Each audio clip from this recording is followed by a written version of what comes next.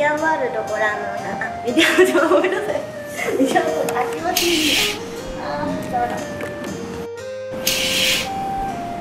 メディアワールド秋葉 TV をご覧の皆さん。宮沢美穂です。初めてのイベントを終えてすごく緊張して汗だくだくだったんですけどもすごく楽しかったです。ありがとうございました。で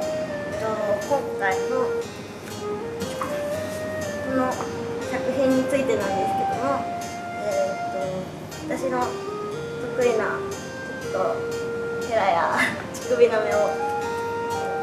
ぱい撮ってあると思うのでよかったら見てください。裏を見せたいんですけどちょっと見せれないのでよかったら買ってみてくださいね。